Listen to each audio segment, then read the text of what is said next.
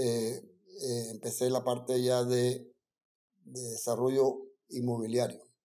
Y se creó la compañía Grupo Colonia de Panamá o Colonias de Panamá, que después se cambió a Grupo Colonias.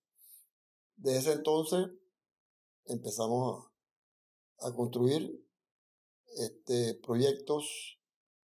Eh, uno, creo que vale, cabe decir que tuve una relación muy bonita y una sociedad muy bonita con eh, lo que son ahora grupos residencial.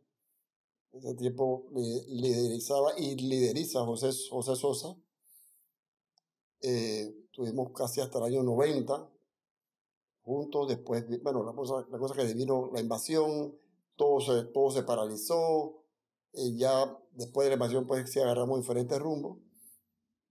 Eh, y yo seguí acá, pues, en Grupo Colonias, este, haciendo proyectos. Eh, hemos hecho edificios, urbanizaciones. Eh, una de las, urbanizaciones de cientos de casas. Una de cientos de casas, claro que sí. Una de, de la urbanización o proyecto más simbólico e icónico en ese tiempo fue Fuente del Fresno, un proyecto de ciento y pico de casas, no, doscientos y pico de casas. Eh, y era, en ese tiempo, eh, yo en Estados Unidos pues, agarré la idea de hacer los gated communities, comunidad cerrada, y fue la, la, realidad la primera comunidad cerrada que se hizo en Panamá.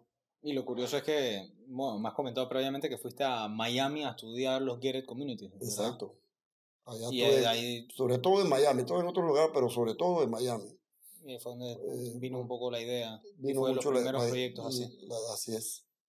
Y hacer este, eh, las casas que dieran, que tuvieran jardines atrás, porque antes se construían casas que atrás no, no podías salir al jardín, sino tenías que usar el patio, el porche de la casa para el área social.